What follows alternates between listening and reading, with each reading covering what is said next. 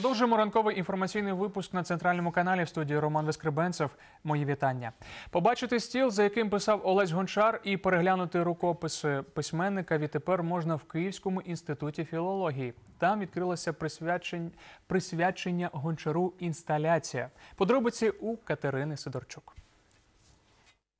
Рівно 100 років тому у звичайній українській сім'ї народився письменник Олесь Гончар. Виховували його дідусь та бабуся у полтавському селі. Він пройшов через пекло війни і не зламався, каже дослідниця його творчості Наталя Попович. Олесь Гончар став академіком, орденоносцем та міг отримати Нобелівську премію за роман Собор. У ньому слово собор вживається більше 300 разів, тому його було складно перекласти на англійську, щоб зберегти концептуальне і символічне значення самого собору. Твір чекав 20 років на дозвіл на видання. для перекладача е, іншою мовою, яка не є спорідненою, не є спорідненою в культурі, не є спорідненою історією. Дуже важко відтворити цю всю самобутність і цю всю іс- історичне е, нашарування, яке несе в собі той образ. Це стіл, на якому писалися твори Олеся Гончара. За словами господині музею Мар'яни, незмінні на ньому були дві фігурки Дон Кіхот та Будда. Одним з перших відвідав музей Євген Нещук. Друкарська машинка, до речі, робоча.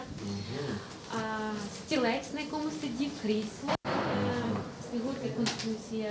Конфуція і Дон Кіхота вони завжди стояли на столі Олеся. Фікус, який спостерігав за тим, як твориться геніальні твори. Подарунки. Музей працюватиме на постійній основі. Можуть виникнути труднощі з доступом, адже в будівлі інституту, де його створили, діє пропускна система. Але куратор культурного закладу каже, що подивитися експозицію можна. Працюємо ми з 9 до 6.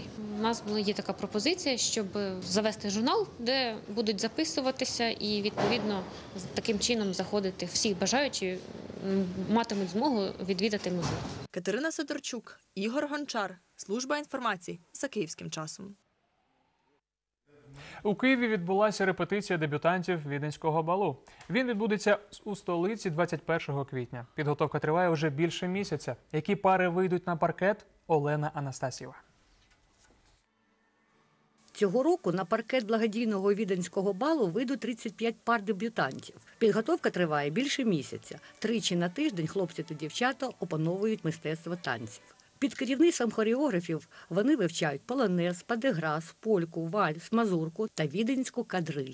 Одна из миссий этого э, ну, бала, то есть показать людям, что это может делать каждый. Це нескладні рухи, які дійсно можна повторювати всім, кожному і танцювати вже починаючи з правої ноги. Під час виступу наживо звучатиме симфонічний оркестр Київ Класік під керівництвом народного артиста України Германа Макаренка. Такі події необхідні і вони дуже важливі для того, щоб Україна е, ще більше входила в європейський культурний простір, в європейський культурний контекст.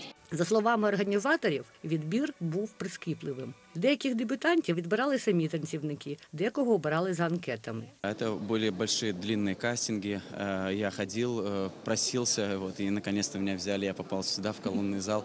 К- Да, это же очень важно. Не, на самом деле, просто, знаете, сейчас не хватает вот этого джентльменства, этой храбрости. Моя бабуся почула по радіо про цей вальс і запропонувала мені зареєструватися. Думаю, а чому б і не спробувати? Тому що кожна дівчина мріє стати принцесою. Я Я все життя про це думаю, якщо чесно, так кажучи, і мрію про це. Тут є і відомі молоді актори, співаки, телеведучі і бійці АТО. Нас запросили сюди волонтери. Ну, скажімо так, в межах психологічно-фізичної реабілітації взяти участь у цьому проєкті. Звичайно, складніше тут.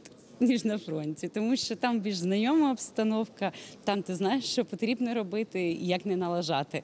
Е, Тут, звичайно, складніше, тому що все нове. Я ніколи до цього танцями не займалася. Найголовніша умова виступ на балу такого рівня може бути тільки раз у житті. Урочисті костюми на вихід повинні забезпечувати самі учасники. Наступного дня відбуватиметься дитячий віденський бал, який не має аналогів у світі і перший був проведений минулого року в нашій країні. А на початку літа планується київський бал просто небо на Подолі для всіх бажаючих. Співпадаємо з ще однією важливою подією це фіналом Ліги Чемпіонів.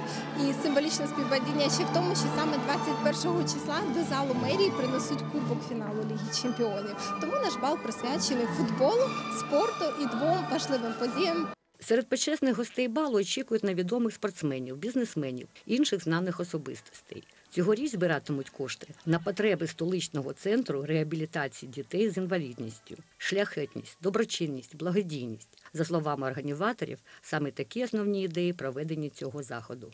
Олена Анастасьєва, Євген Рожко, служба інформації за київським часом.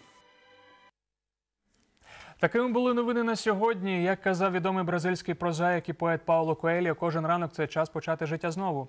З вами був я, Роман Вискребенцев. Бережіть себе і своїх близьких. Бажаю вам приємного, успішного і гарного дня.